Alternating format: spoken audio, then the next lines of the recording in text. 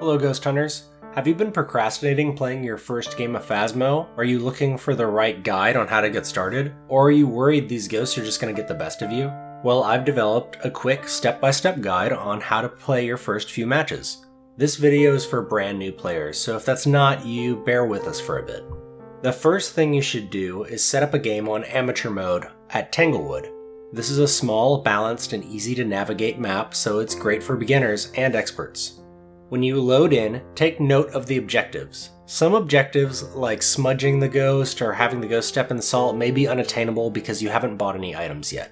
But things like witness a ghost event or detect an EMF signature, these will be super easy way to build money.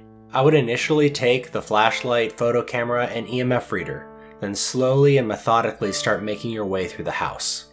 Look for plates, cups, or picture frames that are on the ground and listen for thumps or doors being opened. Wearing headphones will help with this. Use an EMF reader to confirm ghost activity. These will be indications of the ghost's favorite room. Taking a picture of the bone and cursed item are an easy way to make some cash as well.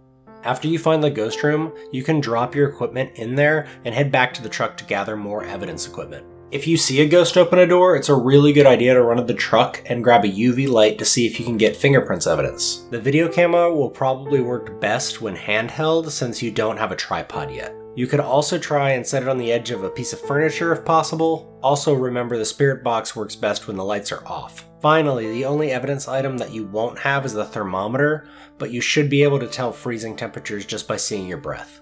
At this point, you should have a good idea of what the ghost is. If not, don't get frustrated. Some of the ghosts can be stingy with their evidence. Just take your best guess. Your sanity drains pretty slowly on amateur mode, but ghost events and being in the dark constantly can drain it faster. If you want to avoid a hunt, simply leave the mission before your sanity gets below 60%. Very few ghosts can hunt before that, and even more have to wait until you reach below 50%. Still listen in case the front door slams. On this difficulty, that will give you at least 5 seconds to run to the nearest hiding spot before the ghost even starts hunting. Remember to be quiet though. If you follow these steps, you should build money and become familiar with the game through the first handful of matches. As you buy equipment and unlock maps and difficulties, you should be able to build funds faster and widen your skills.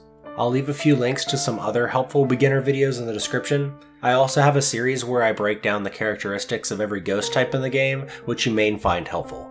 Best of luck and thanks for watching. Until next time, have a good one.